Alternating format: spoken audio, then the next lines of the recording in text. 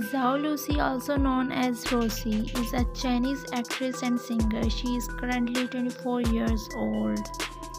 Li Hongyi is a Chinese actor and singer. He is currently 24 years old.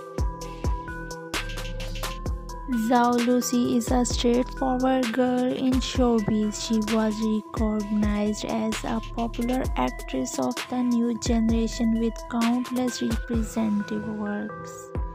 Zhao Lusi once asked Li Hongyi on Weibo if he liked her.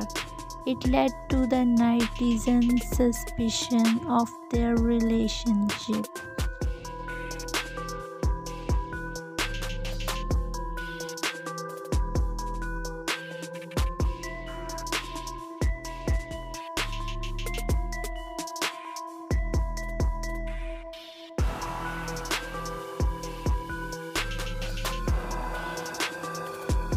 Many times they sport together and late night dinner together.